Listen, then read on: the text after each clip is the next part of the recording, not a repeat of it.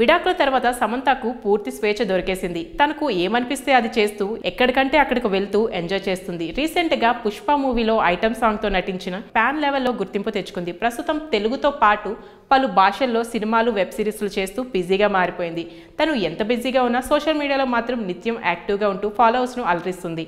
తాజాగా గ్రీన్ డ్రెస్లో అందాలు ఆర్బోత చేసి వార్తల్లో నిలిచిపోయింది. ప్రస్తుతం ఈ పిక్ సోషల్ మీడియాలో వైరల్గా మారాయి. ఇక సినిమా విషయానికి వస్తే సమంత ప్రధాన పాత్రలో నటిస్తున్న శకుంతల పోస్ట్ ప్రొడక్షన్స్ వర్క్ జరుగుతుంది. యశోద చిత్రీకరణ సాగుతుంది. తమిళ్ళో నటిస్తున్న ఖాతువాకుల రెండు ఖాదల్ సినిమా కూడా వేగంగా షూటింగ్ జరుగుతుంది. ఈ సినిమాలో విజయ్ సేతుపతి సరసన మరో హీరోయిన్గా సమంత నటిస్తుంది.